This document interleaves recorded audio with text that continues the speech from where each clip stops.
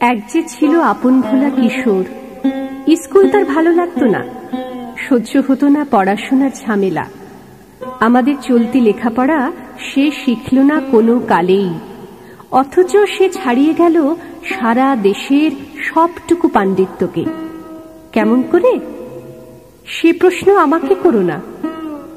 বড় মানুষের মধ্যে গরিবের মতো মানুষ, তাই বড় হয়ে সে বড় মানুষ না হয়ে মানুষ হিসেবে হলো অনেক বড়। কেমন করে? সে প্রশ্ন আমাকে করো না।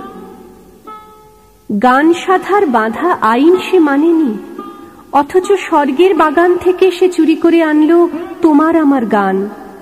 কবি সে, ছবি আঁকার অভ্যাস ছিল না ছোট বয়সে, অথচ শিল্পী বলে সেই পেল শ্রেষ্ঠ শিল্পীদের সম্মান। কেমন করে? সে প্রশ্ন আমাকে করো না।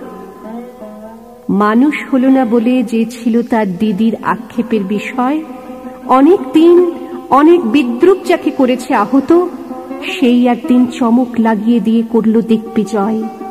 কেউ তাকে বলল বিশ্বকবি কেউ বা কবিগুরু উত্তর, দক্ষিণ, পূর্ব, পশ্চিম চার দিক করল প্রণাম। তাই পৃথিবী আজও অবাক হয়ে তাকিয়ে বলছে, কেমন করে? সে প্রশ্ন আমাকে করো না। এ প্রশ্নের জবাব তোমাদের মতো আমিও খুঁজি।